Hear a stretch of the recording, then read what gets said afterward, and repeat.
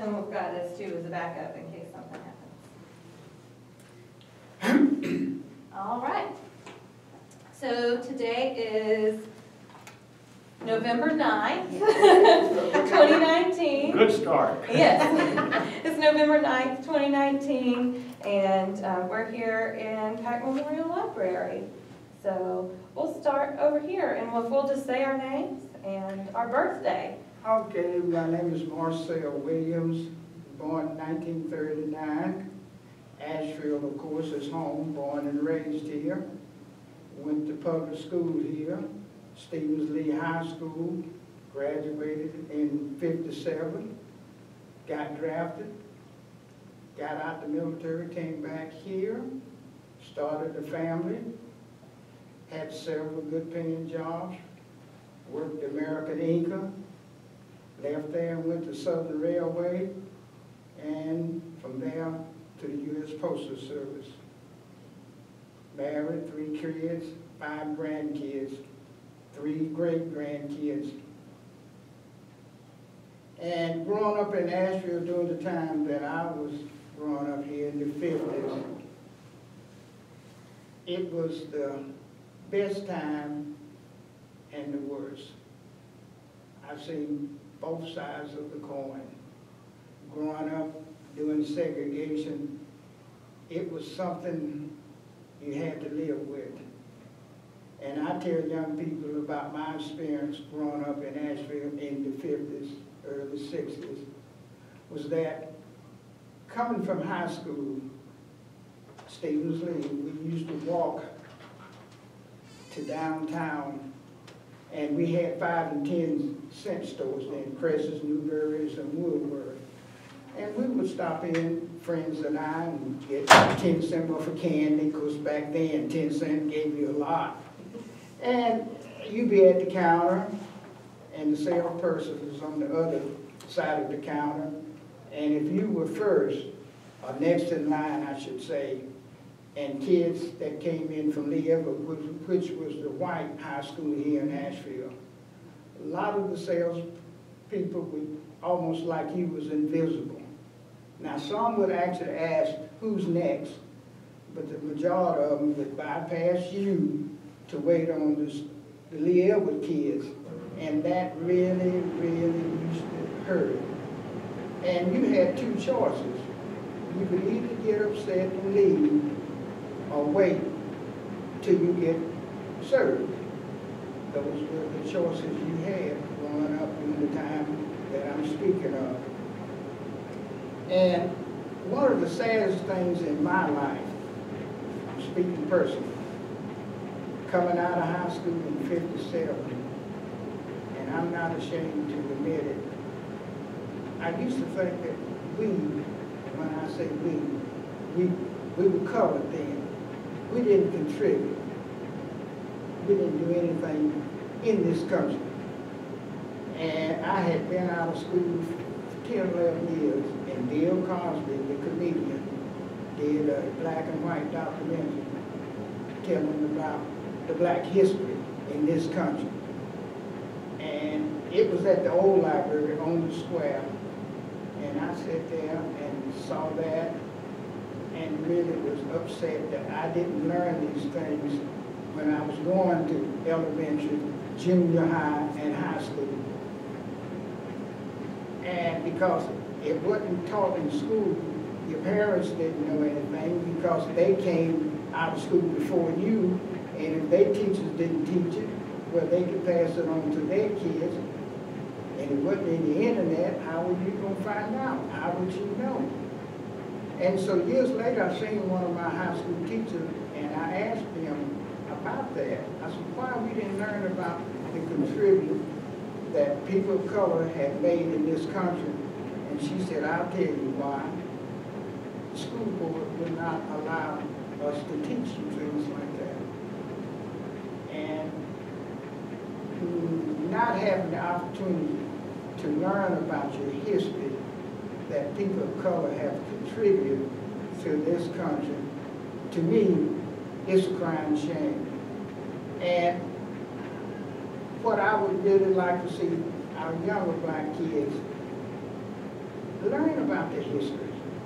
Be proud of what you have contributed, or your people have contributed to this great country. Because uh, we all have a story to tell. And that was my, some of my experience growing up. And another thing, before we jump to the next person.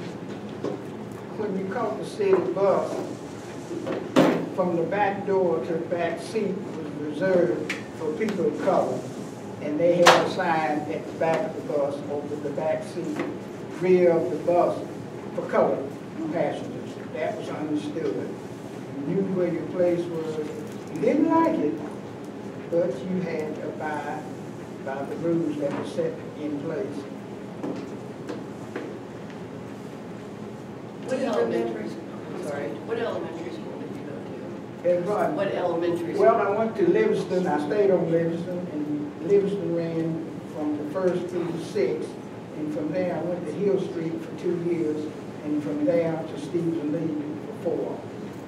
And do you remember what teacher it was you asked about black education? Oh, God. I, I can't think of her name, but we was at the YMI drugstore on, on Market Street, and one of the uh, attorneys out of Charlotte, Ferguson, Uh, he was in town and it was a meeting at YMI and I happened to run into one of my teachers and I asked this question about being taught things that we going through school that we were never taught.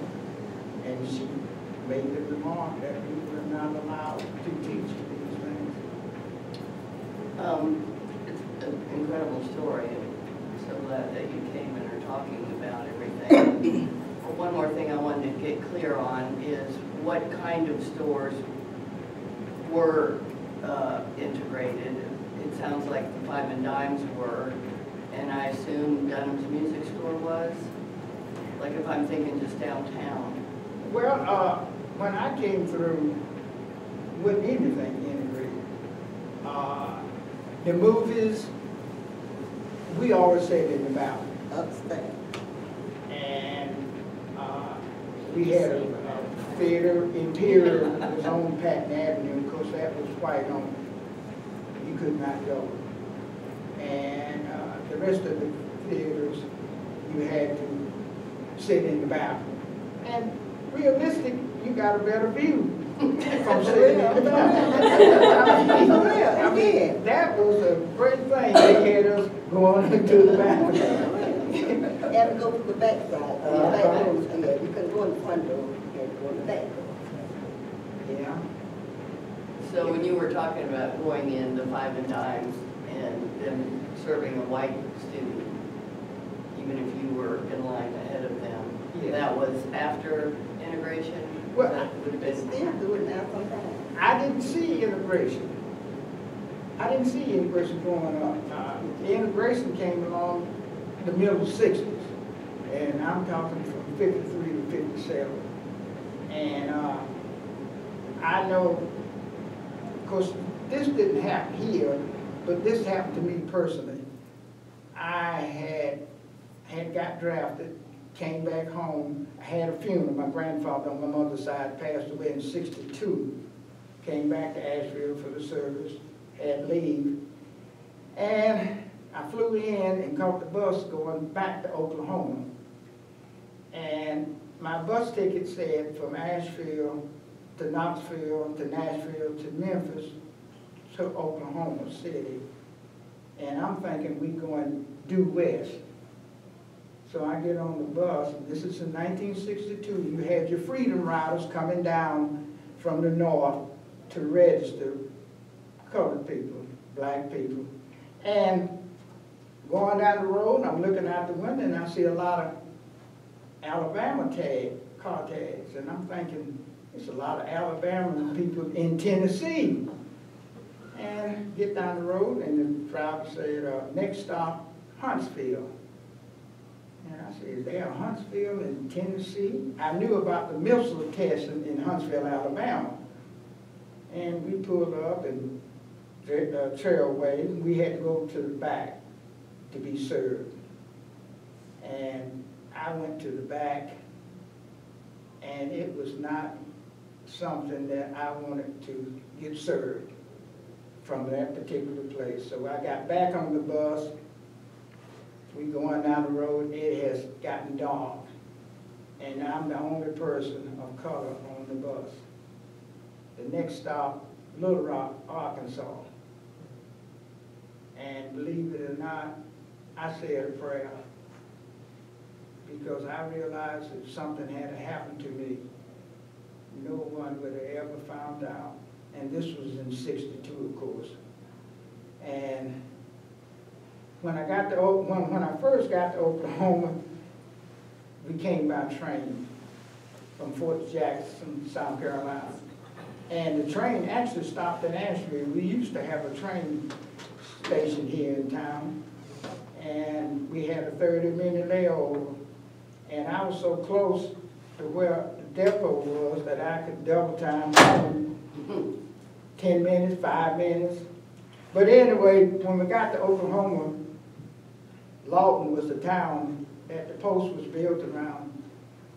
I saw this black gentleman in the train station. I'm waiting on the post bus to come pick us up, to take us to Fort Sill. And I asked him, I was, uh, race relations in this town of Lawton. And he said, son, he said, twenty years ago, if you were a person of color and the sun was going down, you had to be out of the city limits. No ifs, buts, and ands. And, you know, some of these things, uh, you don't forget. It's just, uh, something that was, uh, instilled with you. And I, I read instances where especially mothers would talk to the young black men about do's and don'ts when they come to town or have dealings with people that was not your same color. And these things, you know, like I say, they stick with you for the rest of your life. And I remember this while I was in service, and I would remember this day to the day I died. We had inspection on a Saturday, and we had the first weekend at Fort Jackson. Go to town, go anywhere you want to, as long as you be back by six o'clock Monday morning. And so me and this guy, we was going through basic training, we decided to eat downtown and not eat in the mess hall. So we caught the post bus, and I didn't know where the colored section of Columbus, South Carolina was, and he didn't know where the white section was, so when we got off the bus, we went into this little cafe. This is in sixty-two, and we both in uniform. So the waitress, this was a white cafe, she came and took our order, and we ordered a hamburger, french fries, and a coke. She came back a couple of minutes later, and she looked at me. She said, the color section is so many blocks up and across. And she looked at Will Cox. He was white, and she asked him did he want his order. And he told her, if Marcel can't eat here, I don't want to eat here either. And he could have said, yes, bring me my order. But he decided to make the stand, so we both got up, and Greyhound had integrated their lunch counter in Columbia, South Carolina. And some things you just don't forget. But when that happened to me, even though I was in uniform, I felt like I was dirt.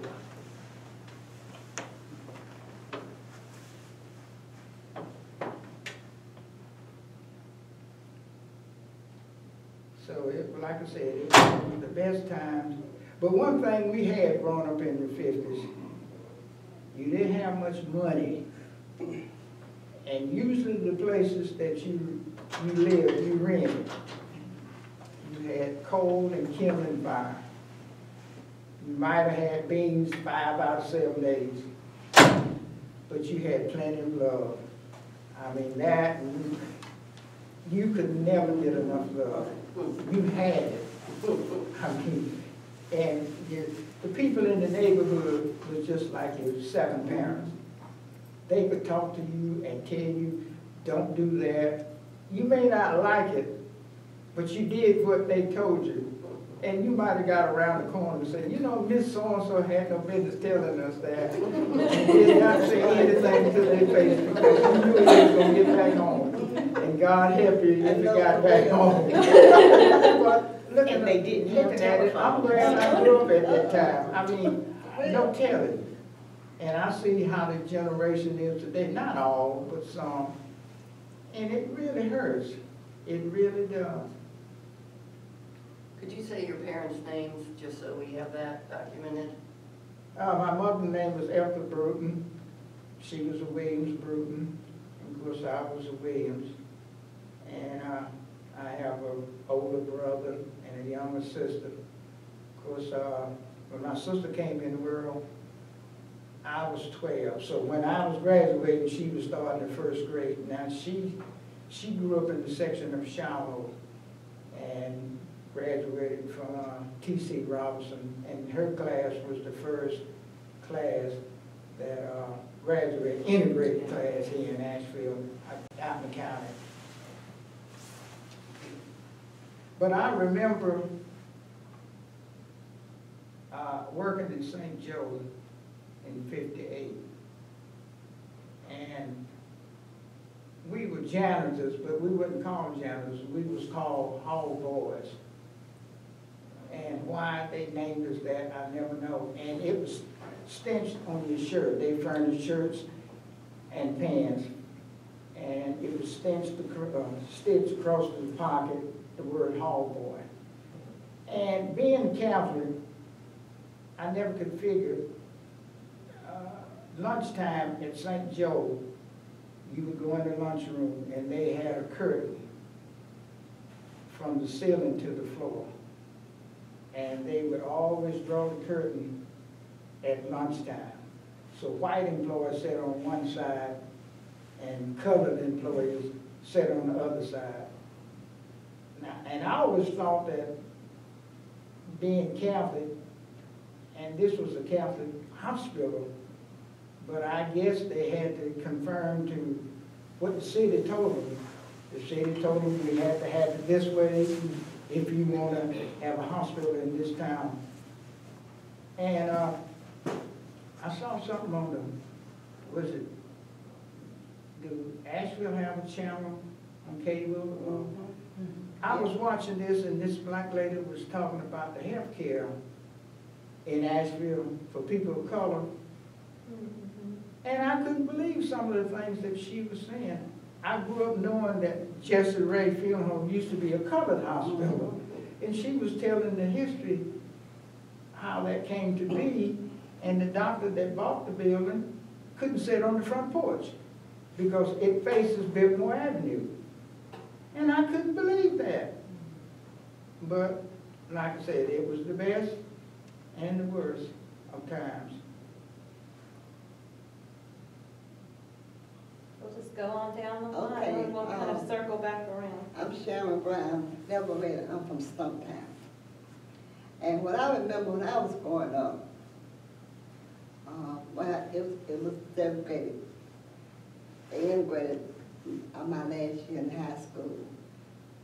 I graduated from South French Broad, and I was in the twelfth grade. They integrated the teachers first, we had white teachers at South French Broad. And, uh, the next year, everybody to Asheville High. But anyway, I remember growing up, I can remember getting on the bus, to going to the back, that was automatic, you know, you just go to the back. And then I remember downstairs in Woolworth and Newberry, they have the white fountain and the color fountain. So one day, I was down with my mother, and she was doing something, I said, I wonder what the difference, I just got the white fountain. My mama said, you did what? I said, I want to see if it's a different one, you know. You know, she said, don't you ever do that again. I said, I just want to see what the difference was. And then when they, um, when they, um, say we could sit, sit, sit in front of the bus, from then on, I always sit in front of the bus. Even today, if I ride the bus, I'm sitting on that front seat, I'm not going to the back. And a few years ago, I used to drive a school bus, so I take my classes in Madison County. Went to Madison County one day at a school, and the kids looked at me like I was from outer space, you know. So me and my girlfriend, we went to have lunch. She was white. So we went to have lunch. I said, I better get something that can't mess up. So I got me a, a grilled cheese and french fry. So she's sitting here, and I'm sitting here. So when the girl came back, she gave her a plate and put my plate way down here. Okay? It's like five years ago in Madison County. And when I went back to Head Start after class, I said, I can't go back out there because I won't feel safe. You got to get me another class somewhere else because I didn't feel safe out there. Because it was weird to look at me like I'm out from outer space. But that's, that's, a, that's a bad deal, you know, somebody like that.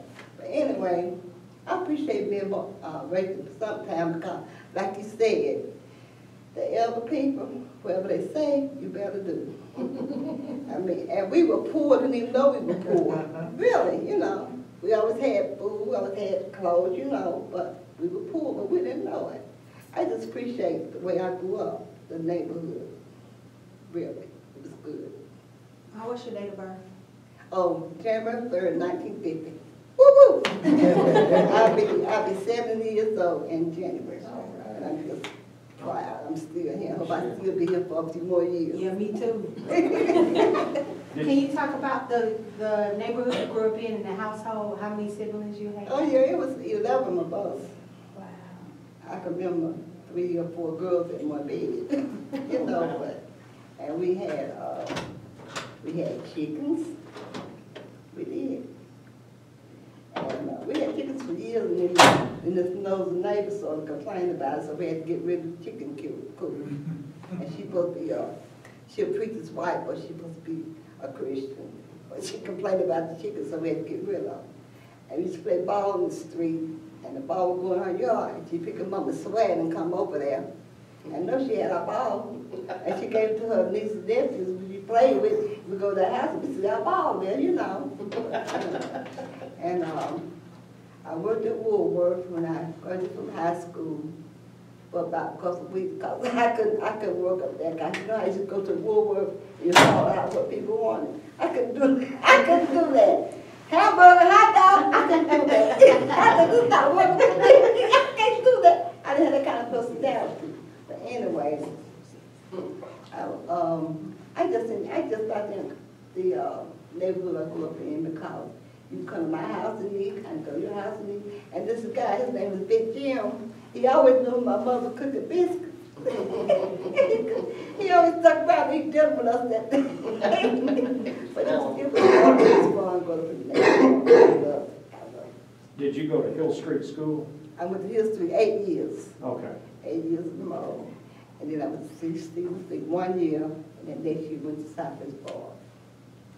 Can you tell us maybe a little bit more about your school experiences, either at Hill Street or Stephens-Lee, or both? Well, going to Hill Street, walking from, we, we had to pass Randolph to go to Hill Street. And the Randolph's all white then, you know, so we had to go through Gulf Street to get to Hill Street. And then I was there for eight years, and then with Stephens-Lee, we used to walk from Gray Street all the way to Stephens-Lee.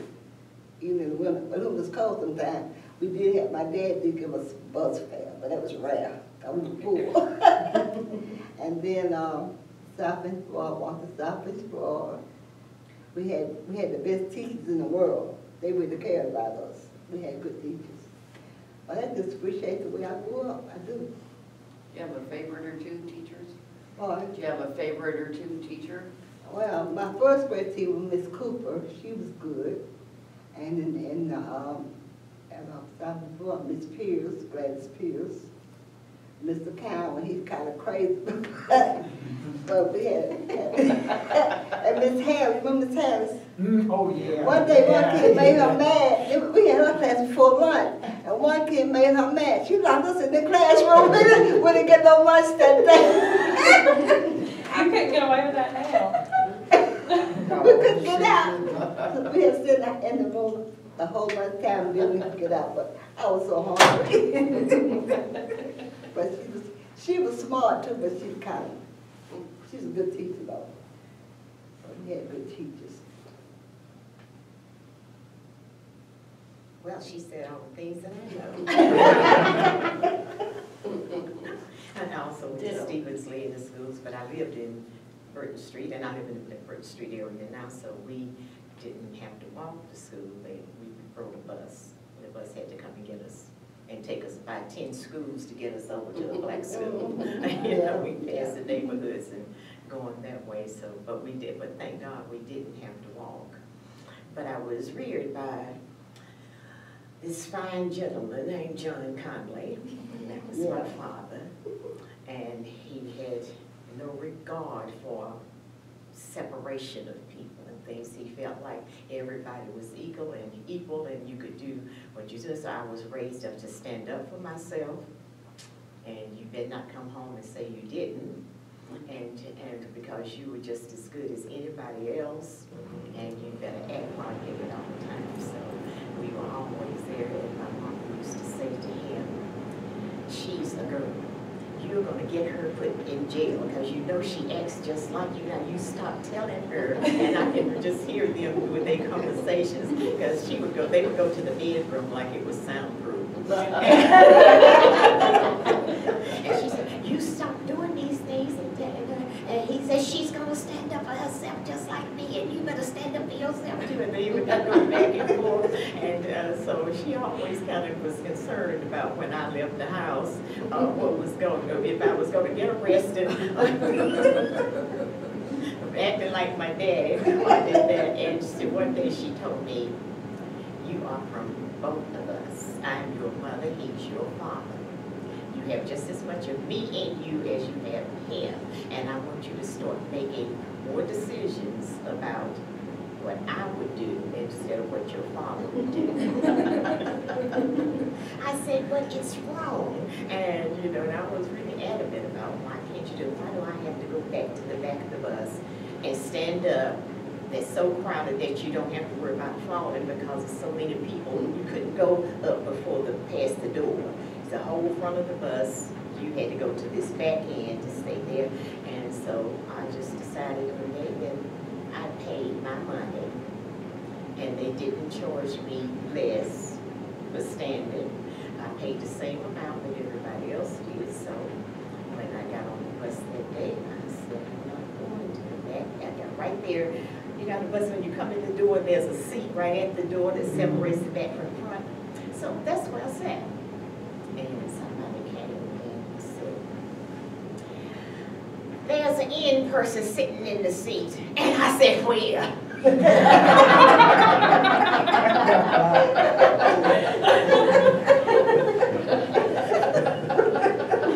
And, and I had a brother, and he was really big. He was a year younger than me, but he was really big. He said I was always doing these things because I knew he was around. and he was huge, big, muscular, and uh, so he said, "Oh Lord!" And Mama had told him. She said, "If she runs her mouth and gets into something, don't let her hurt her, but don't you jump up to take care of her, get herself out of it." And so they pulled the bus over and literally stopped the bus. And the driver got up and he came back and he said, he says, uh, ma'am, you can't sit here. And I said, excuse me? He said, you can't sit here. I said, oh, I didn't pay enough. It doesn't cost more money to sit here than back there. And he says, no, everybody pays the same. And I looked at him and said, and everybody's gonna sit where there's a vacant seat.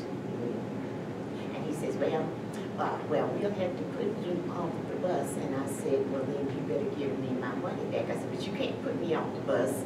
And I said, and I wish you would put me off the bus because I know a lawyer. And so we had this conversation going back and forth, and my brother sitting in the back going, oh my God.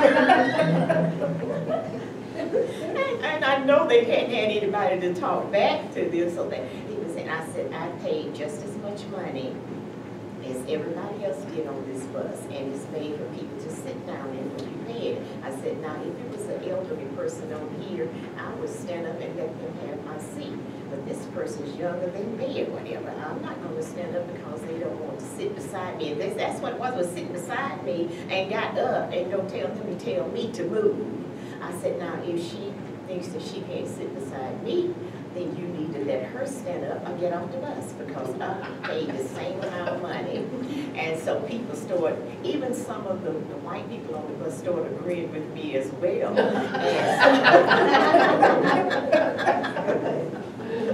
So we got there and my brother was in the bed praying.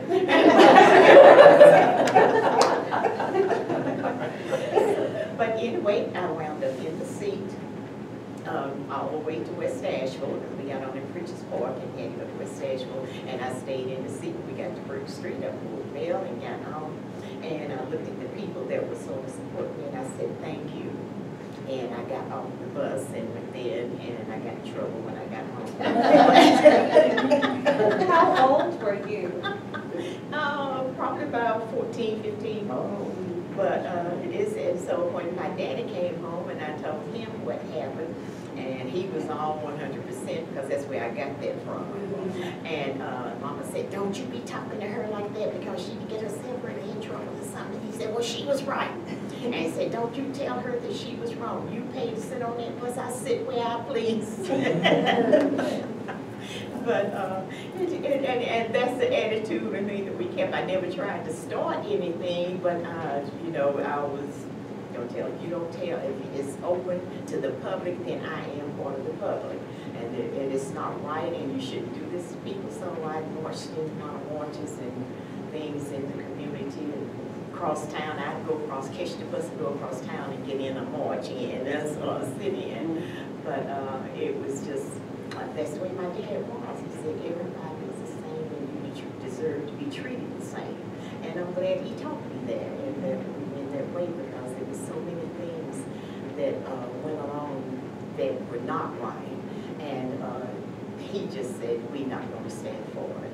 But uh, my mom had another thought and uh, but she was the same thing, and she said, don't, don't let anybody run over you. And we saw a lot of things growing up that were not right, uh, as coming along, and the way people treated you. I mean, you didn't have to ask if they were being racist, it was obvious. And uh, you go in places and you knew that they didn't want to wait on you, uh, but then they uh, would come along and they had to wait on you or something. But and, and, and that's a terrible feeling for somebody to make you feel less than equal or less than human. And it was something that I was not gonna show them or let them see in me. And to this day, I'm not gonna let anybody try to put me down. I know who I am, where I came from, and where I'm going, hopefully up. But, uh, and I've taught my children and my grandchildren, you don't start things, but you don't let people take away what's rightfully yours. Take away your pride and your dignity, and, because you're just, people are people. And we have good people and bad people in all races. But uh, you don't go around discriminating against people because of the color of their skin. And today, I have some of my best friends of different races and different colors, and my best friend over there. But uh, it was uh, not an easy time to grow up, and, and it took a lot for you to have self-confidence and feel comfortable uh, in your own skin, because you would go so many places where you were the least person there, and they're looking at you, and you know they're trying to treat you differently than they do somebody else, but uh, I was just totally convinced that if I'm here, I'm gonna act just like you. And I'm going in and sit just like you. If there's a chair here, I'm gonna sit in it. And if it's down, and, and if it- you don't like that, then maybe you're gonna get up and move, but. But, uh, you know, and I just, and I, and I couldn't, and I don't understand today how an individual, being an individual, can look at other people and simply because of the color of your skin, all of a sudden, there's a whole different way they approach you or look at you or try to treat you.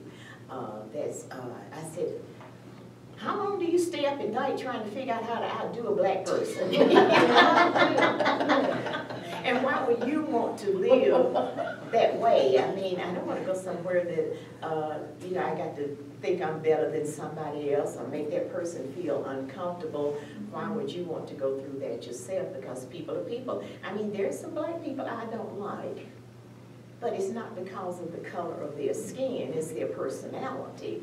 And uh, I think everybody should be, you should look at every individual And that's the way I was brought up, taught to look at every individual for their own personal person. Everybody is different. Did And we have tell something about how rich your history is of going to school in Burton Street? Huh? Talk about how rich your history is around your education. and- And we grew, I grew up in a community where there's, uh, the man that started our community was a black man called E.W. Pearson. And he was just amazing. And he came here, we had, and, and that's why we had a lot more things going on in the Burton Street, uh, area because of Mr. Pearson. And he was well-known and accepted by a lot of, uh, white people. And I, I wonder how sometimes when I thought about, think about how things was, it was even worse then, because this, this was years before I was born. Uh, it was even worse then, but he made, found his way and, uh, and he started the West Asheville community, the Burton Street area. Uh, right now, I'm getting kind of upset because they are trying to take the name out of there. But, uh, and he was a, just a great man and, uh, did a lot of things for the community, started a lot of things, businesses and things in the community. Uh, we had areas where he had built this place, he had a, it was a nightclub before I was born, and by the time I was born, uh, he had passed and it turned, they made it into a community center for the community. And, um, after, after some years of that, we came home one day and here this man was with all this intelligence and, and he was a Buffalo soldier and everything, very educated, highly educated man. And we came home one day and he had a building there right on Burton Street and they tore it down. Didn't say a word to anybody in the community. And this has been in the last couple of years. Uh, they came into it, now we didn't even get a brick from it, a block from the building, uh, knowing that, uh, knowing that man was all that he was, because he was just, and you can go look him up, some of E.W. Pearson, he was just a great man, way ahead of his time. Did your teachers talk about him? Teachers at Burton Street? Yes, they did, and so, and I guess that's where I got some of my stuff from. knowing, knowing that uh, our, the person that started our community, what he actually went through, and how he uh, challenged them and built that community, and, and is still standing today, and people, and we are still recognizing uh, Mr. Pearson as our founder, and just finding, still finding even greater things that he's done uh, down through the years. He does have a few family members still living. Uh, that really just tore us up when we came home and found out they had tore down that building. At one point in time, he originally, it was a grocery store.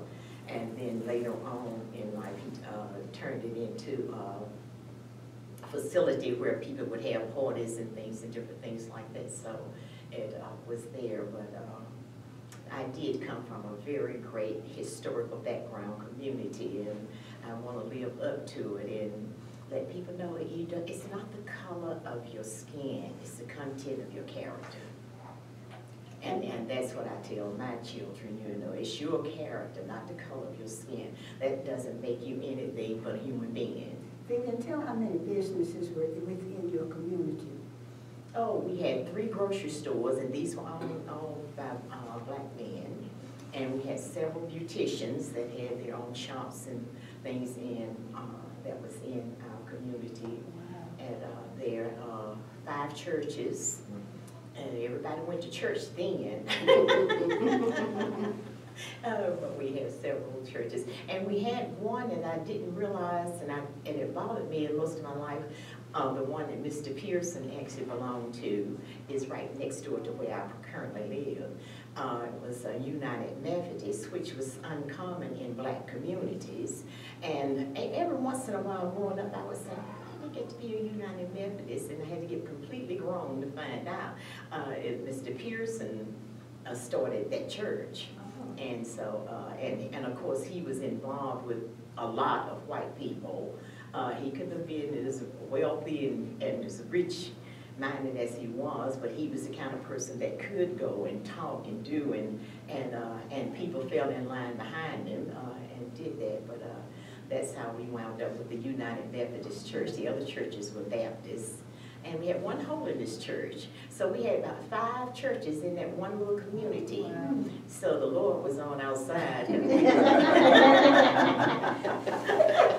And my mother used to tell me quite often, quit acting like your daddy and keep your mouth shut. And he'd say, Rosalie, you let that child alone. Lord's on her side. So I kept right on acting like my daddy. And when it was time to march somewhere, we marched and we went to there. And mama was sitting at home and prayed, hope we got back. But uh, we did. But basically, we had, the people that grew up in there, we had a different life um, because of Mr. Pearson. And it was a good life. And doors were opened up to us to things that may not see in other black communities. And I'll quit because I could talk to him. And before you finish up, would you say your first and last name, your birthday, and your parents' names, please? If you don't mind, you don't have to. My name is Vivian Conley, C-O-N-L-E-Y, one N, one L. And my what? Your parents' names Uh, and your parents birthday. Uh, John and Rosie Lee Conley. Uh, my dad was originally from Marion and my mother was from Forest City. We moved to Asheville. And your birthday, if you want to. Well, that's fine. I was born July the twenty-sixth, nineteen forty-five. And do you know when your parents moved to Asheville? Uh, they came when I was about three or four years old. My dad was from Forest, and was Marion, and my mom was in Forest City, but they moved here after they got married. Did they move for your parents' work, for your dad's work? Did they do what? Did they move for a specific reason? Uh, dad got a job in the area and, uh, worked at, uh, for years, there's a place, and I think it may still be in business, Electric Company. And, uh, they did, uh, vacuums and things, and he, uh, he wasn't professionally trained, but he could take them apart and put them back together. Is that And it? so he got a job and, uh, worked there for years until that place closed down. And so, uh, Is that the one I'm thinking of in West Asheville? uh, no, it was downtown, like on Market, down on Market, Lexington, sometime down that way. It was downtown Asheville. The company was downtown.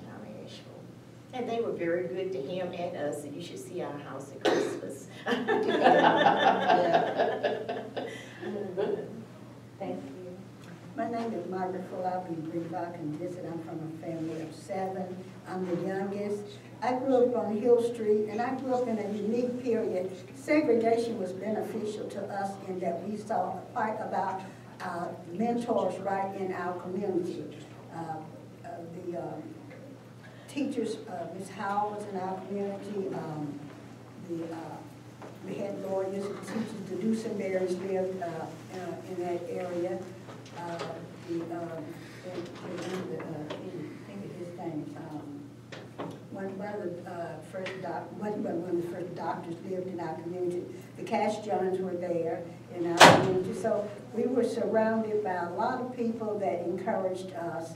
Uh, and I went to uh, Hill Street School uh, for the first eight years, then I went to Stephens-Lee, I graduated in sixty-four. Um, And um, I remember going to the YMI, it wasn't YMI Cultural Center, it was the YMI, and going down to the library. Uh, uh, My mom always used to tell me, look, don't look, that don't look. that." And um, it was, it was wonderful. I didn't realize till I was grown, and it made my heart sad that I didn't get to give the teachers accolades. We at Stephens-Lee had teachers who had PhDs that taught us. And I didn't know Dr. Leonard was, you heard Dr. Leonard, but he had a PhD. I mean, most of them did. We were so fortunate to be educated by teachers that cared. Uh, And I'll just tell a short story. Uh, When we were growing up, you had to have, was it, I think it was twenty-four credits or twenty-two credits. Well, I was real, I was real uh, quiet, but really outspoken. I guess you would say aggressive, passive aggressive. But anyway, I was a senior, and I, I said, oh, I had figured I got all my credits, we can do what we want to. So one day, uh, four of us who were seniors, we decided we were gonna take a day off. So we walked out of school, I mean, out, just got up, I mean, after the class, we had changed class. We walked out the front door. The only person that did walk out was Hermeline Friday because she said her dad would just her. But we, the rest of us, we decided we were big and bad enough to do that. And so we, we walked out of school. And back then, you didn't think of anything negative. All we did, we went to, uh, uh, Alexis Gaines' house, uh, off of South Side. And we just watched TV and ate. And when, uh, we went back to school, Miss Rumley called me in the office. You in trouble. Yes, and my brother at the time was working as a janitor. And you have to know about uh, Stephens, we had all these doors, this beautiful building, I just cringe when I think about how they took it down. But anyway, had all these glass doors. And I told Mr. Romney, I will wash every window on every door, but please do not tell my mom that I washed. And I, and, and I, I just said, I said it literally, do not do that, because I knew it would be, I would be in awesome trouble. And she did, and I had to wash the windows. But I remember her telling me, well, if you don't have enough credits, I'm gonna make sure you don't graduate. In my mind, not out of my mouth. I said, you don't know, I have twenty-four credits. In my mind, I know. But it, it was, it was, uh, it was the best of times, and after they said, I didn't really know how poor I was until I went to Chicago, because I went to get a job, and everywhere I went, uh, they would say, one man told me, well, you don't have experience. I said, well, how will I ever get experience if you do not hire me? And he looked at me, he said, you're a little too mouthy, I, we can't hire you. I said, wow, and then I was left-handed, so I never was able to get a job in the, uh, uh, on the line because they had no machines. So that pushed me into getting into administrative, uh, uh, employment. But when I look back, what I treasure most is that we were taught, uh, that, as Vivian said, you were good as anyone else. You had nothing to do, the way the system was set up had nothing to do with who you were.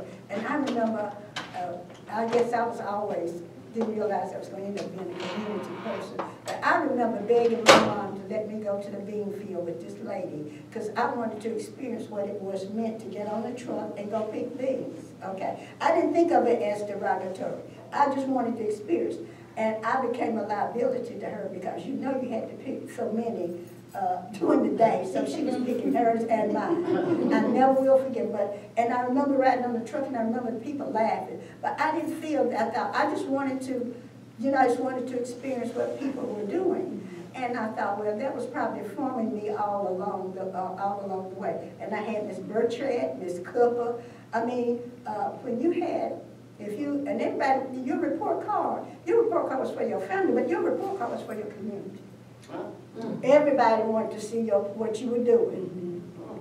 And we were laughing, I was like, uh, I don't know, uh, and I, I, I was like, gosh, you didn't realize how much they loved you, how much they encouraged you. Uh, and a lot of that was, integration is good, but a lot of the cohesiveness of community was certainly lost. But it can be regained by, just like the young man here, they're coming with programs and embracing our young people. So our history is a way for you to know who you are. That's why it grieves me sometimes when people say, why you all want to talk about the past? Why you want to talk about Africa? Why you want to? Because you need to know your past. You need to know our forebears. They invented bomb, embalming. They they did build, they built pyramids. They designed things. So being an architect is not a strange word. If you feel in your heart you want to attain something, don't, oh, well, we not, we, we didn't, our life didn't start when we were brought up, our ancestors were already slaves. Our, our life and our existence and our contributions go way back. So that's what I had to tell my children. You know, you can achieve, uh, real, uh, you can edit this off, but I, I'll say, the people used to, who used to do the butter and eggs, play the butter and eggs, I have, y'all remember that? I didn't realize how sharp they were. You know how they were setting that program up? Reading the cotton picking stock market. Because they printed the, the production of the eggs and uh, butter, uh, butter and eggs. And so that's how they read the stock market. And that's how they set that system up. It took me a long time to realize, oh, they were geniuses. Yes, and I said to, for people to know how to preserve and, uh, take care of their families on a meager income, they were experts, because I'm struggling, I think I do a pretty good little second, but they just, they were the best cooks, and very economical, and very loving. you know.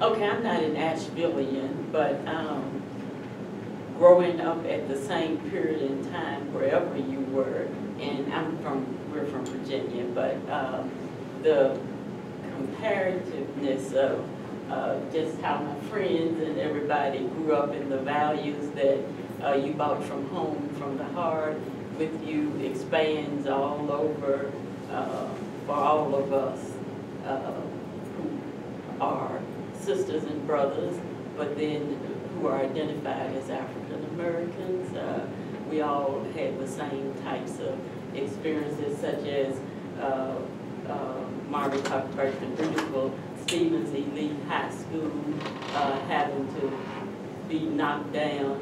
The same thing happened to our high schools. And I was in a conference in Raleigh a couple of weeks ago, and uh, they had slide programs about all of the African American schools, the same thing happened too. So, so much stuff is just systematic and just um, hurtful, uh, vast plan of destruction for people. And it's very sad to see and to know that, but uh, it makes you even more interested in your history and more importantly, in giving the knowledge and influence that you have to your children and to everybody else that you meet. Because it is just uh, so sad that uh, hatred is existing in all of the avenues that it has for so long. And to see some recent ramping up of that and some things that were done in secrecy and but still in the same accord, now being vocalized and publicized as a prideful thing, seemingly from some people.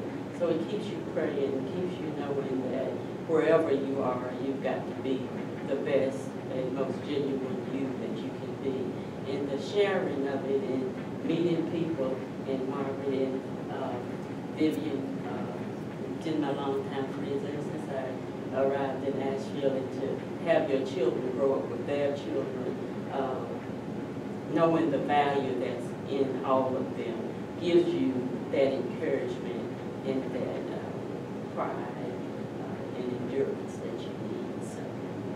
I'm I'm Barbara, I'm real proud, this is my, two of my aunts here. Um, Can you talk about, because you're a arrived, you're not a native of Asheville, you're native of a place in Virginia, but um, you were talking about your children growing up with their children. Can you tell us uh, when you moved, relocated to Asheville? I came to Asheville in seventy-eight with a job transfer from National Park Service. And uh, met Vivian first, and then uh, Margaret later. Margaret's children and my children went to school together. Vivian had her kids in the city school. Uh, But uh, they're still my nephew, niece anyway, and, uh, and mine the same with her. But uh, Margaret's children and mine went to school together, and uh, yeah, I found just so much good sister and brotherhood here, and uh, the connection of people that God put in place. We didn't do it ourselves. Uh, just is is just astounding, and so uh, when you can have friends, and even if you don't see them for months or maybe a couple of years, that same love is still there, and. Uh, and, and when you can meet people and then bond with them as if you grew up with them, uh, because of so much commonality, uh, it's just a wonderful, wonderful thing. And I'm just so proud and happy that the Lord has been spiritual And you owe back, whoever you are, so much for those types of blessings that you can't repay because it's God given. Can you state your first and last name, please? I'm Barbara Bryant, and she just wants to know when my birthday. is. So I'll just go ahead and tell you.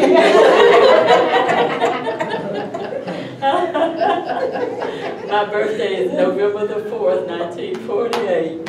Now you got me? Thank you. I already knew that, though. Pardon said, happy belated birthday. Well, thank you very much. I appreciate it. Thank you, Doc. My name is Deborah Reed, Sisters of Virginia. Um, we got here about ten years ago. Um, one of the things I wanted to share, when I was from the fourth to the first grade, I was in, in segregated school. And the, from the fir- fourth, first to the fifth grade, I was in a segregated school. In the sixth and seventh grade, I went to an integrated school. Eighth and ninth and tenth grade, I went back to a segregated school. Eleventh and twelfth went to an integrated school. But the thing that always stands out in my mind is when I got to the sixth grade and it was integrated, the things that, and my mother and father were uh, nurturers of being bold enough to be who you are, regardless where you were. And when I got to the sixth grade, I had a, the thing that our parents did not realize, I don't think, when we went into an integrated school, we not only had, on the first days when we entered there, students standing there saying, we don't want you here. We had teachers standing there saying, we don't want you here. And we were in classrooms where we had to fend for ourselves in many instances. I had a, one of my teachers, Miss Dethenbar, will never forget her name. She was the preacher's wife, and she was the most racist woman I've ever met in my life.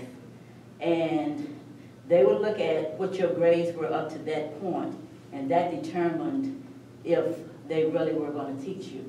And I can remember her telling the African American boys they weren't going to make it. I can just distinctively, you know. So the nurturing that you all got from, or we all got from our black schools, there were mothers and fathers as well as teachers.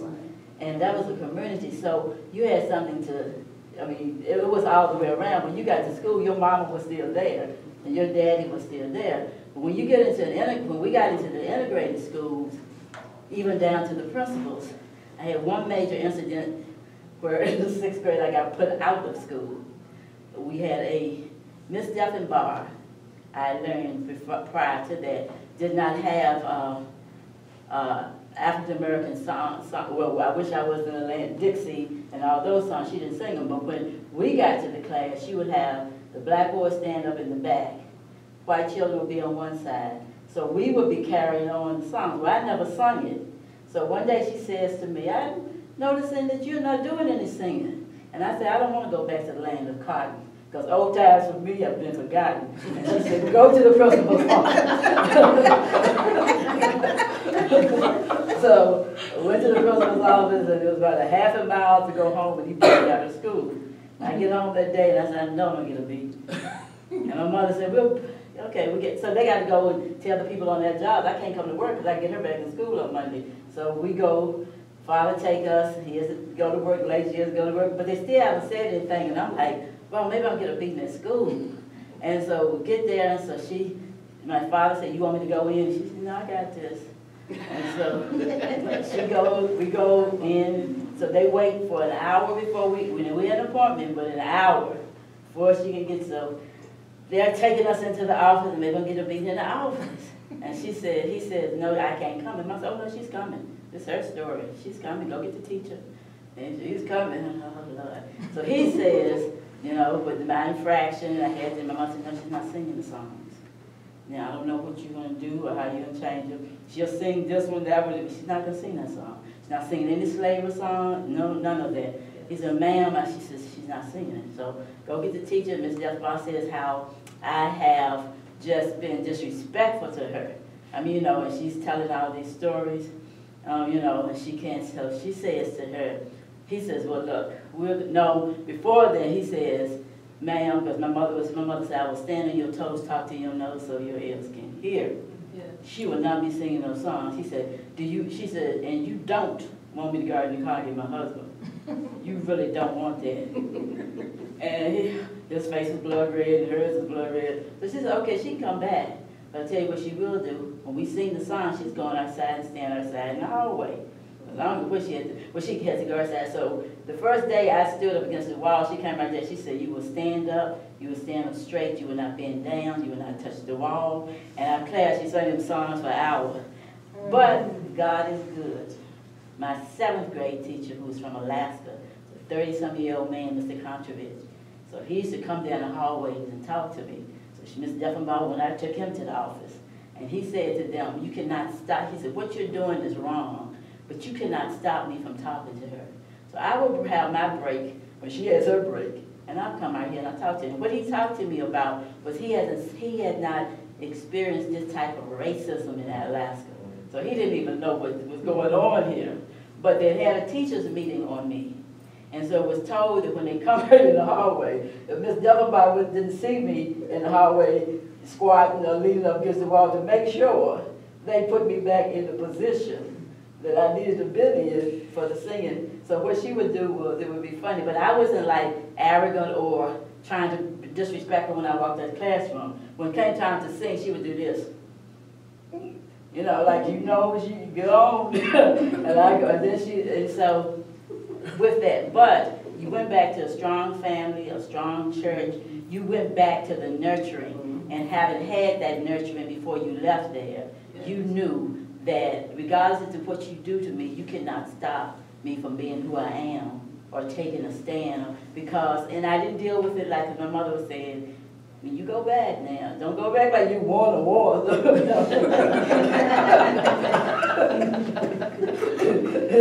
back and, no, it's but so that's an instance where, where I had backup. But think of the children who didn't. Think of the ones who didn't get the education that they were supposed to have gotten. That, but that, that when you come into a classroom just by the color of your skin, you were neglected. Another one thing happened, I got some white friends, and they said, I said, it seems to me when we get to school in September, but some y'all appear to be smarter than us. She said, oh, we take classes during the summer, they have grants and money for that, okay? I couldn't get the classes, but she sure did bring me the information. And I studied it just like when I got, because I'm how are they so much further ahead? Like when we get here, they already know, because they have, they're going to some classes, grants have been given to them. So no, no teachers are telling you that, you know, so I look at our given situation and the, th- the reason why I know God is in this, because we built this country. Native Americans preserved it for us, and we built it. Mm-hmm. And I don't care how you put that, if you got 400, three or four years of free labor, if you can't become rich off of that, you never will. So, when I come across people who says, they did that, not me, I say, but you reap the benefits. And by virtue of the color of your skin, you reap the benefits.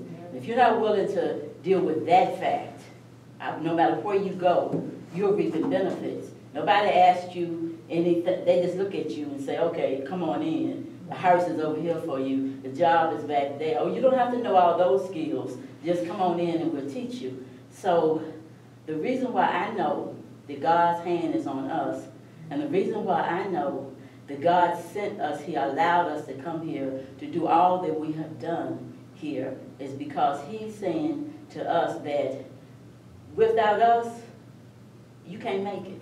And without you, we can't make it. It's no way, because we are the root of this situation here.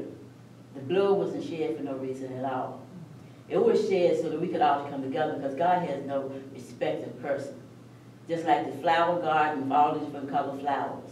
When he made all his creation as an example to us, his creation does not discriminate.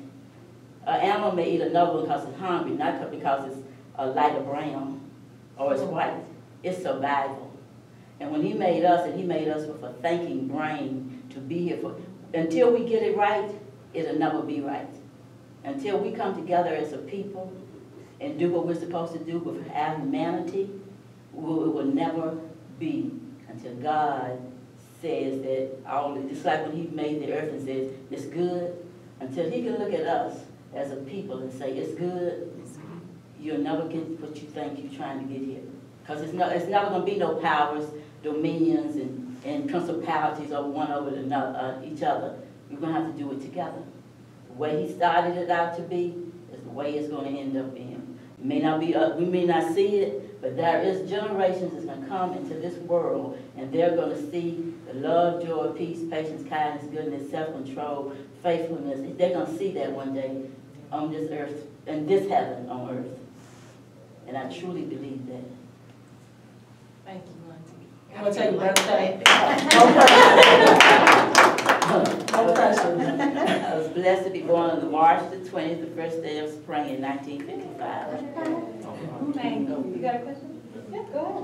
So, um, for those who don't know me, my name is Keenan Lake. Hi, everybody. Um, the question, so I'm listening to you guys speak. Um, you know, I kind of got irritated because I went to the best high school in Asheville, North Carolina, which was Asheville High. You know, I know I heard about Stephens-Lee and all that stuff, but you know, but Asheville High, you know, we, I'm, you know, we, I know y'all we bears, but I was an Eagle two at Central, so we fly high above the rest. But no, um, just joking. But no, I, I have so much respect for what you guys are talking about and for just your journey.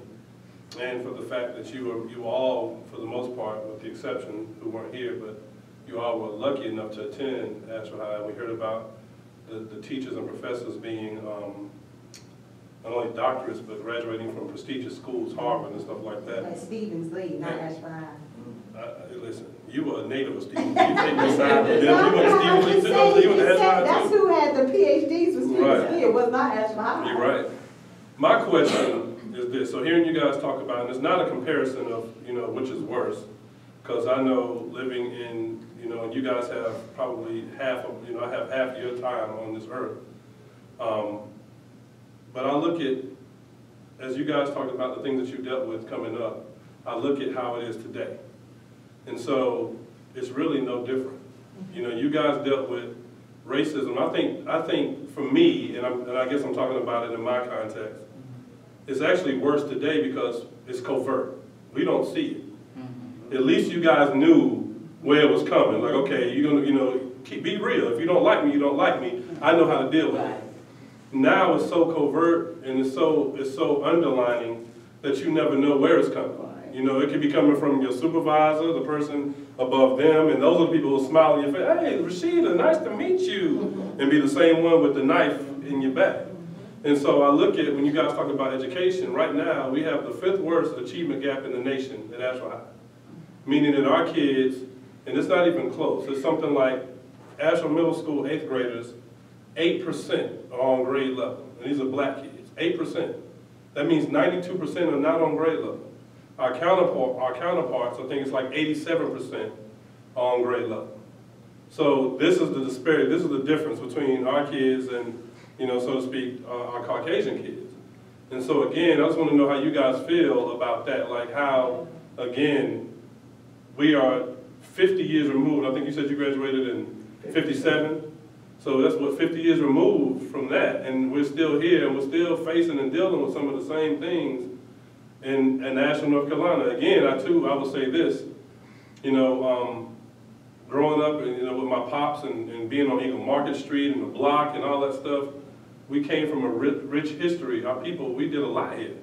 Now it's almost like, you know, we, we have nothing left, nowhere to go, nothing, you know, and so how do y'all feel about that? I mean, No, it is different, and sometimes you can look back and see that, uh, when we were coming along, I think it was because it was more open to us. We knew that there was racism going on, you saw it every day, and like you're saying now, it's undercover. They have their ways of doing this and that to keep you separated and away from it, so it's not as open out there, but it's worse because you don't know who you can trust or you can't trust or what's going on, uh, uh, what you're getting into.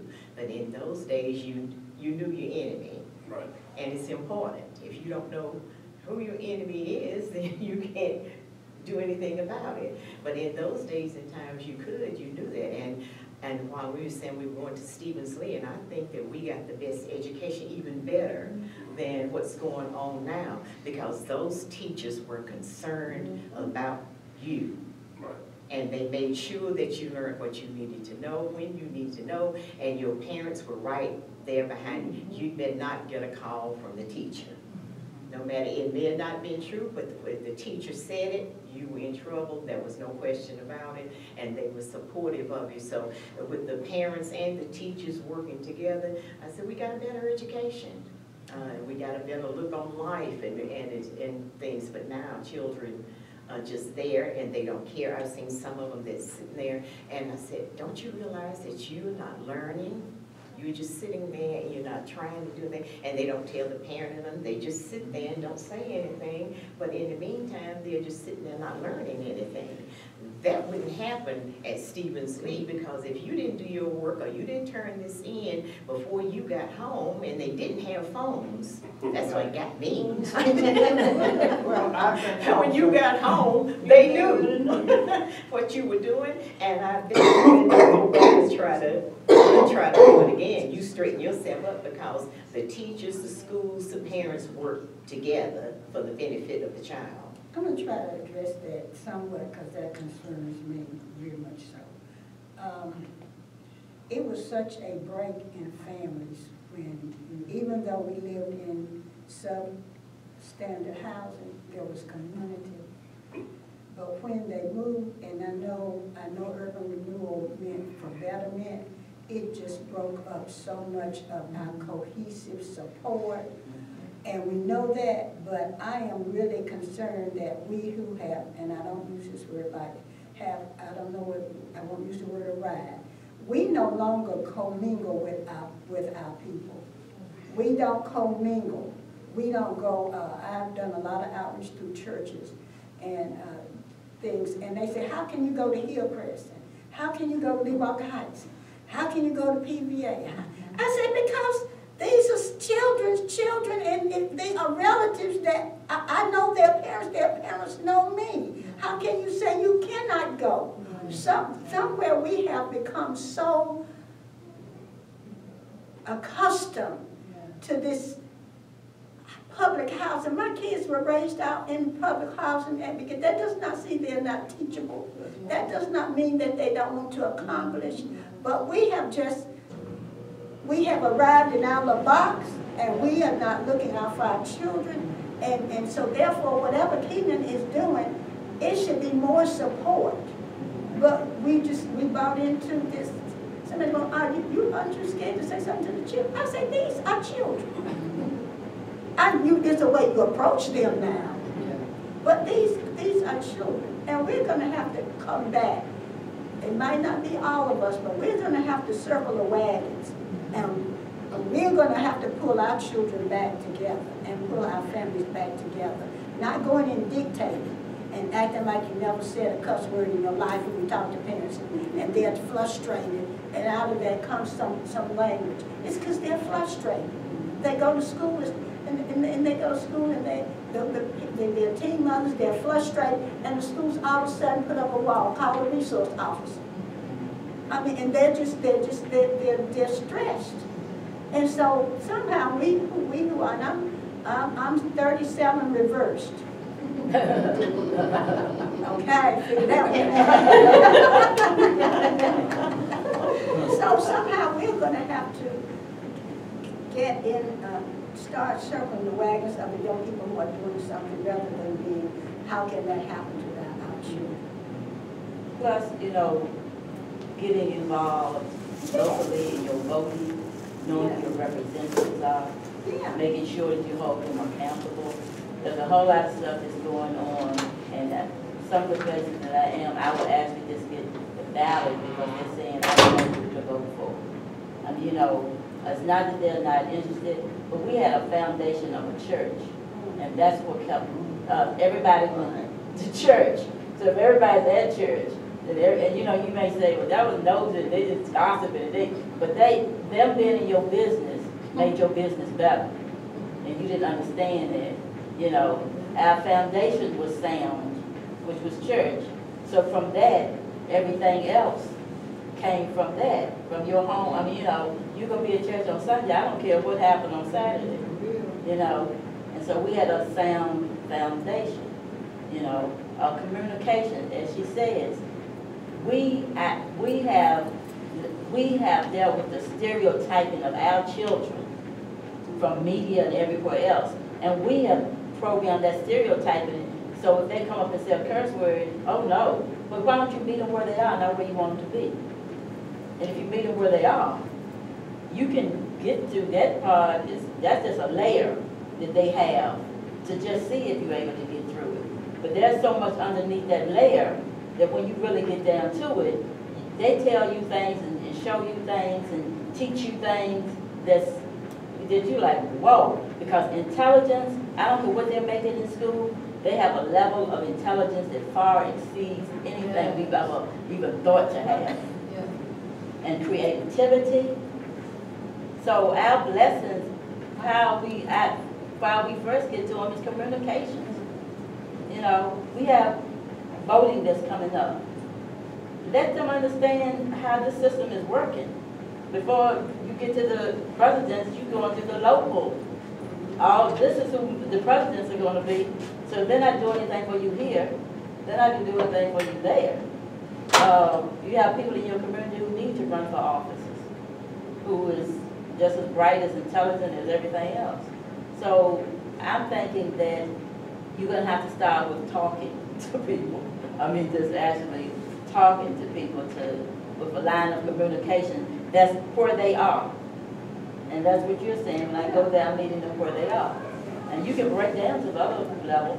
And we have to realize, and I'll say this, and I don't know how it can come about, this has been a vision for me. I do not think our young people and the people in public house know how much money they bring to the city of Athens.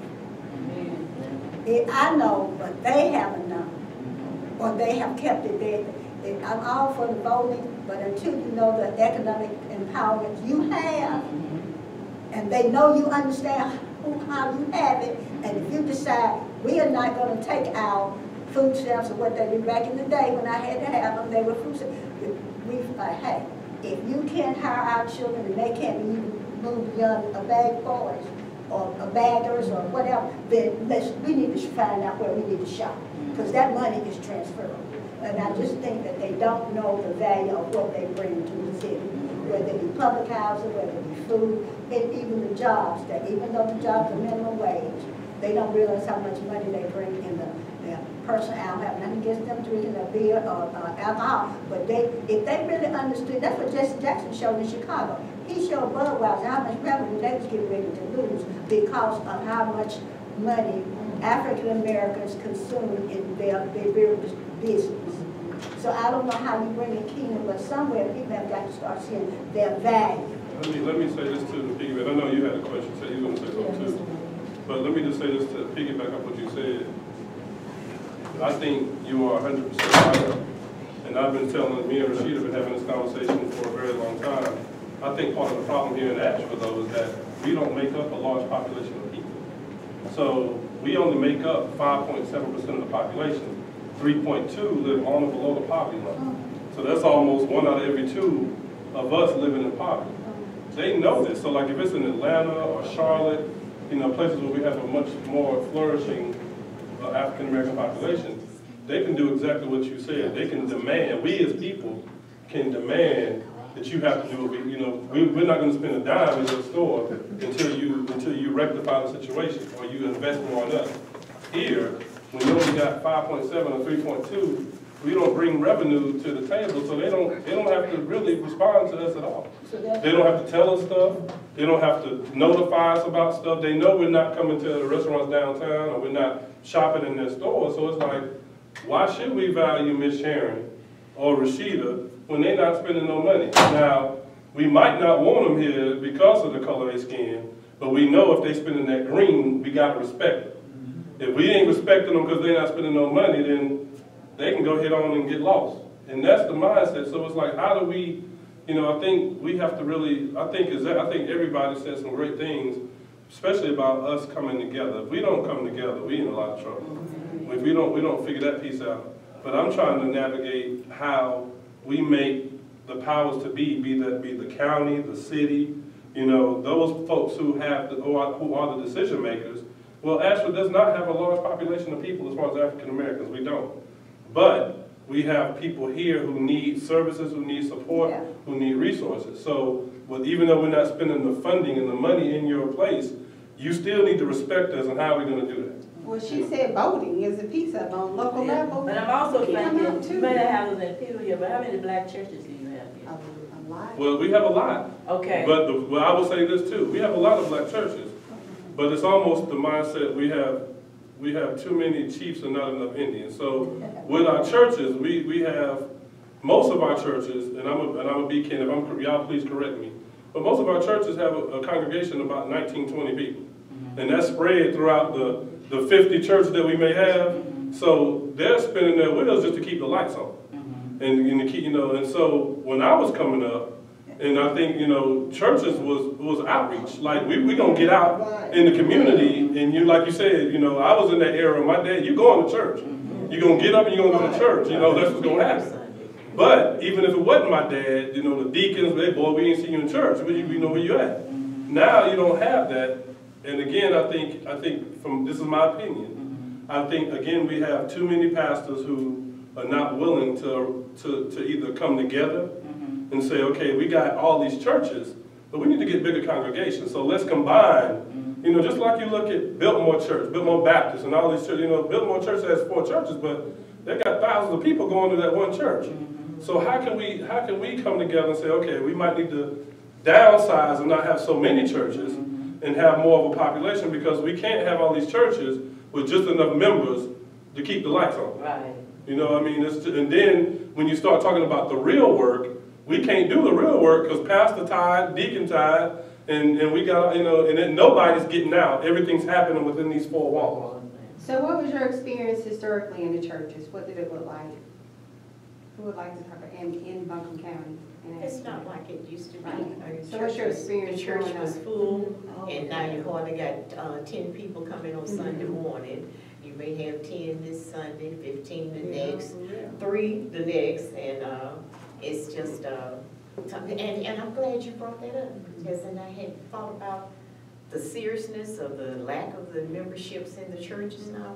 I said, in the past, you had no choice. Right. When Sunday morning came, you went to church.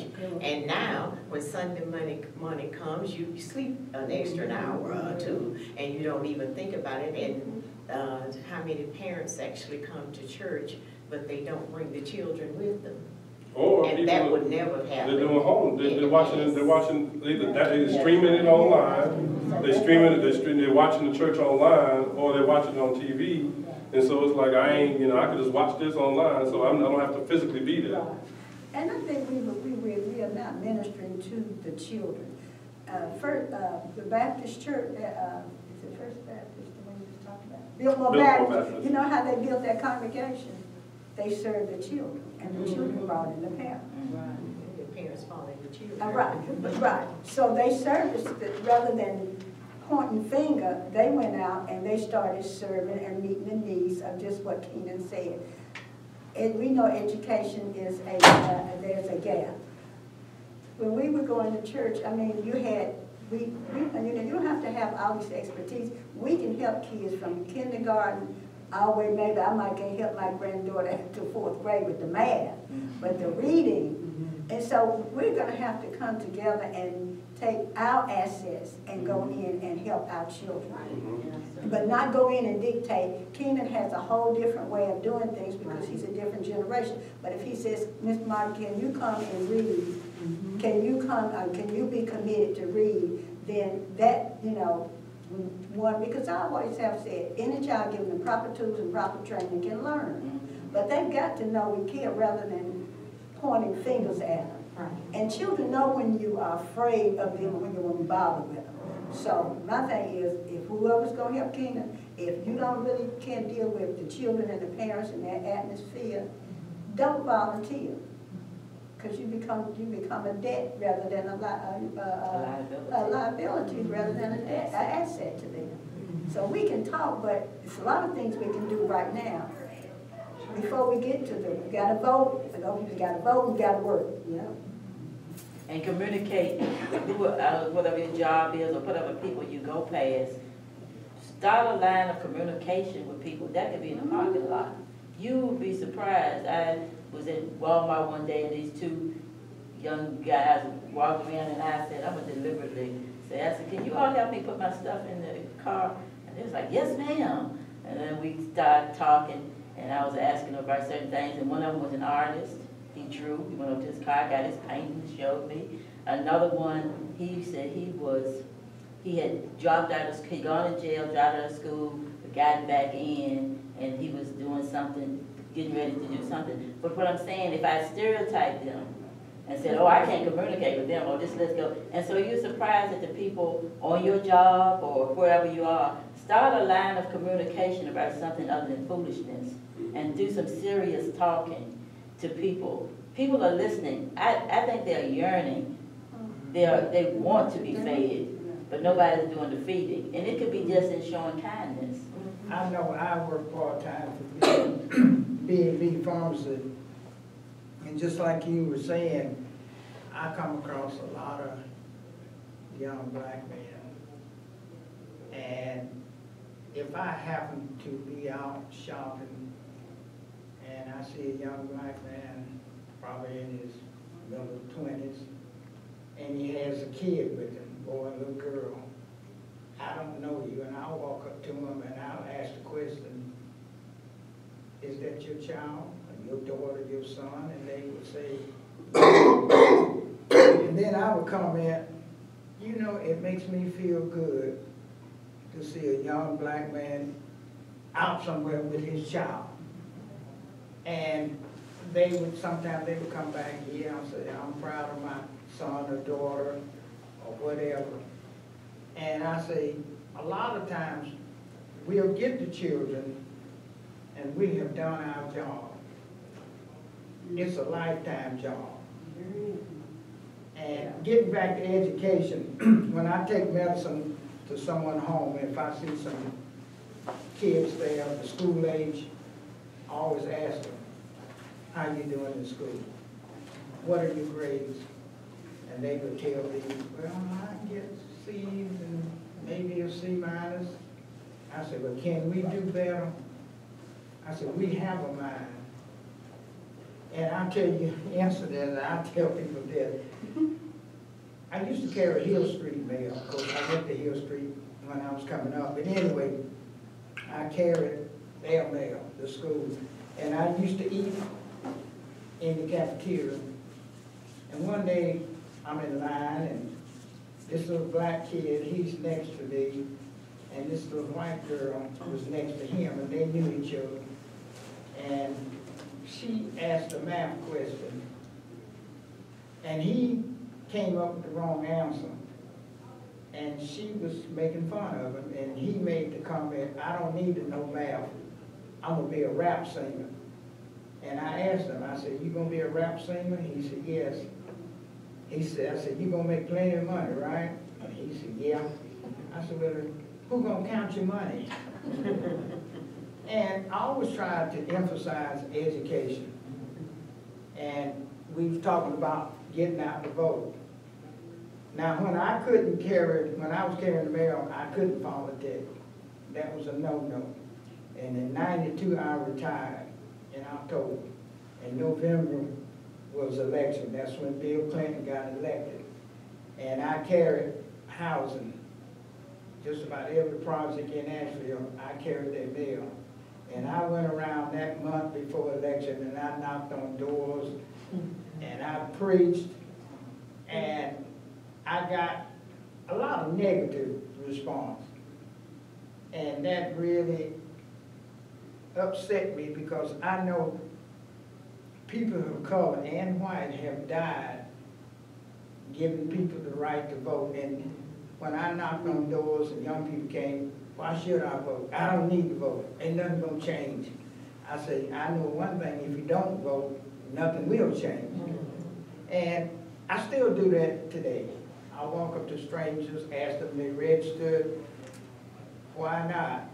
Well, someone said, I said, that's no excuse. Mm-hmm. And, you know, I guess being the age I am, I feel like I can pass what wisdom I have onto the younger generation. And this is where the key is gonna come from, the younger generation. Mm-hmm. because people my age and a little younger, we don't had our time. So we got to pass on to the young people, because if we don't, we are lost. We are lost. And that's why I'm surprised that we didn't have as many young people here. I mean, the young people could have learned from the wisdom that we had here. And I'm, I'm disappointed. Maybe the next time, the twenty-third, Yes, maybe 23rd. I'm gonna talk it up Yeah. from, from the day to the twenty-third. Maybe next time we will have a good gods of people, young people. Right, you folks can all come back. We're gonna continue to have these. Yeah. We do, this is, this is the very first Yes. one. Okay. And I think want just, to continue to have the staff members didn't quite know how to arrange it, you know, and, and you folks probably didn't know what to expect, but if you will get out and say good things, and we have the recording, you know, all the wonderful words that you folks have spoken today are right there, and, and we can, we have the ability, of course, to put that up online now. And Zoe will definitely get that done, uh, probably by Monday or Tuesday. So there are many ways that this good work can, can get out. And if you folks want to come back now for this next one, in, what, a couple of weeks, I think, please do. Don't feel that you've put in your time and now it's time for someone else. I- I'd like to ask a quick question of the group as we're sort of wrapping up. But what I'll do first is, starting with Aunt Deborah, is uh, if you take one and just pass it around, then you have at least one invite that you can give or use as a reference when you're helping to spread the word Wonderful. to people in your community. Um, There are, we, I think that just what I know of the work that you all have done over the years in this town, I'm so proud. I tell my Aunt Barbara all the time, I'm like, I know all the stuff she was involved in. I know it personally, just how much frontline work she was doing over the years in Asheville. But as pertains to community work, right now, myself and my colleagues, Keenan and Rashida and others of our generation, um, 30s, 40s generation, we, you know, really, really want to make sure that we're doing our best work. And so what I want to ask you is, if you can name just one thing that you know was really effective for you all when you were doing this work, that we could just take with us to help inform how we walk in this work in Asheville, I would personally appreciate. Even if it's just naming one thing. Maybe we go around and just name one thing that we, we can carry with us to do this work most effectively, the way you all have done for so I say stay committed. Yes, ma'am. Stay committed and don't over, don't overwork. Yes, ma'am. You can become overworked being committed. Yes, indeed. Just keep doing what you're doing. I'll second that. Share what you have. I work with the National Park Service, and one of the community work that Lucia is talking about is every youth that I could get hired with the National Park Service Youth Program, they got a job. And so if you get into somewhere where you can um, help people like that, do it boldly. Uh, They got tired of me doing that, but I did. And, uh, I still know of African-American young ladies and young men that say, "Oh, your aunt, oh, she gave me a chance once. summer. If anybody ever And gave then you me look up and you see your people like Libby Cowles, who's now the director Uh-huh. of YWCA. She worked in my office for all of, from high school through college. And just so proud of her and many other kids. So just share what you, when, if you get your foot halfway in the door, then you prop it there and let somebody else get through it. And, uh, so that's a good way. I know, I'm um, last week, I went in in the DMV, I've been driving forty-something years. I went to the DMV a couple weeks ago, and I saw two black women in there. I said, I'm so glad to see you. I have, I have never seen anybody black in the DMV office. I had two beautiful young ladies in there. And I said, I'm so glad to see you. Yes. I mean, it made me feel good, cause all the years, they never had a black person in DMV. They got two now. Yes. Because I know, speaking of what you said, I know when I was carrying mail, we had over a hundred city carriers here in Asheville, and only ten was black. It's like, we got a ceiling, we're not gonna hire but so many. And I know for a fact, when I was carrying, I tried to get our first black female. We have a couple now, but I taught Pure, the H-E-L-L, bringing this point up. And we had an EEO committee, workers and supervisors, and we would meet every quarter. And as soon as we meet, I would bring up the same subject, why we do not have any black females carrying mail. The white carriers used to ask me, Marcel, why we don't have no black females carrying the mail? I said, because the system here don't- want any. And we had one lady, she took the post exam, she made ninety-eight out of one hundred. Never got called for an interview. And the sad thing is that Clarence Thomas was EEOC, was regular. So I told this young lady, I said, are you good in writing letters? I said, write a letter to the Postmaster General in D.C., Clarence Thomas in D.C., and we was on the Memphis, sent a letter to Memphis. Uh, do you know, you all know Billy Bam? Billy was carrying ma- mail, and they sent someone up from Greenville, black gentleman, and we met down to Hillcrest, that's where the young lady was living. Billy came, and we told the story, we showed her score, not even called for interview, ninety-eight out of one hundred. No veterans point.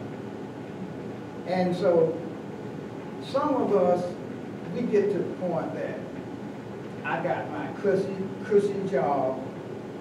I'm Not gonna make waves. I wear a suit and tie. So when we was at this young lady's apartment in Hillcrest, telling the situation, he was a black guy. He had like he wasn't interested.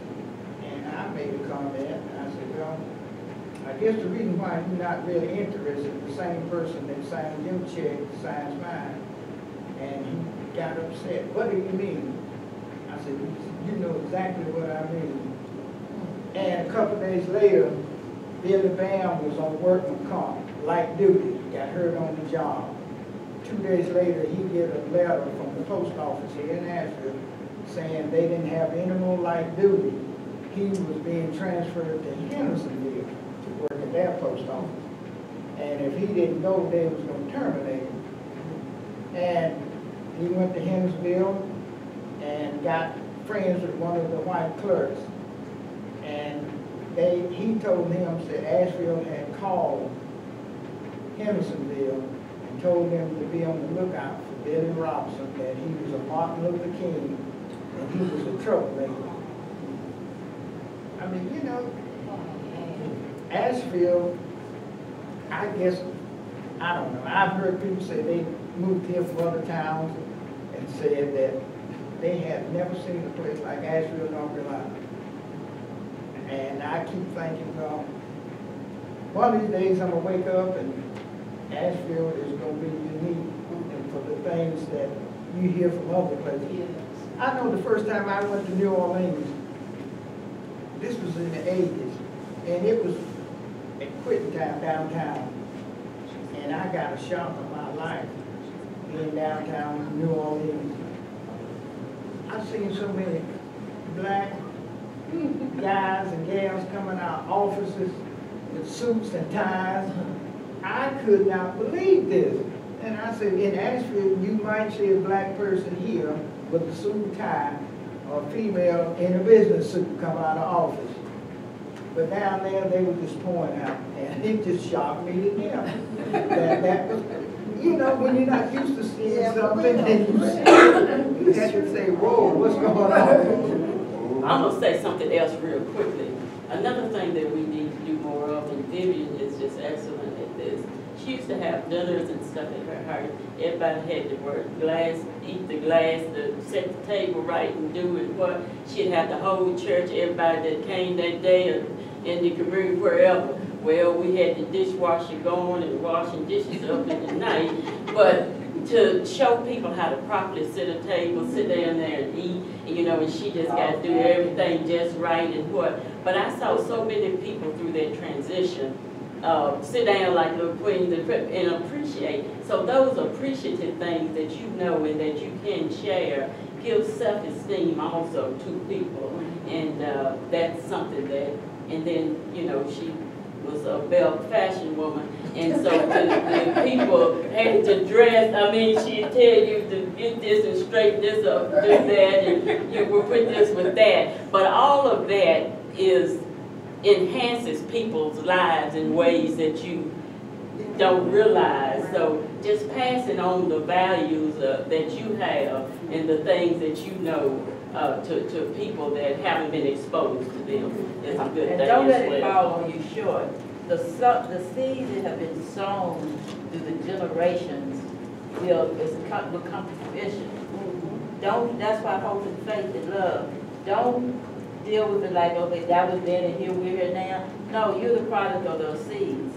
And you mm. have what that seed had in it. Just like all of the, us got what we got, you have it too. So that seed is still there. Can, can nobody take that root of that tree away?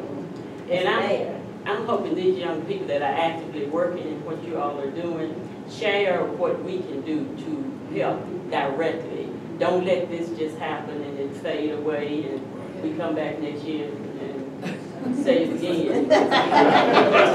Because everybody can do something. Right. And so let us know. That's right. They're giving us a signal. that Okay. We need to wrap it up. I want, I want to thank y'all from the bottom of my heart and tell you how much I appreciate it and how much I've learned. I like what you said about the seed. My, my dad used to say to me, train up a child in the way he should go, and when he is old, he would not depart from it. And then, and then my dad would step back and add his own words. He would say, and you know, I'm, I'm not completely happy with you right now. But I'm convinced as you get older, right? And I think that's absolutely true. I'm a lot more like my dad, who was a very Christian man now than I was when I was 15, 20, 25. He was still talking, talking to me when I was 30. So, thank y'all again so much. Thank you. Here's for all of y'all.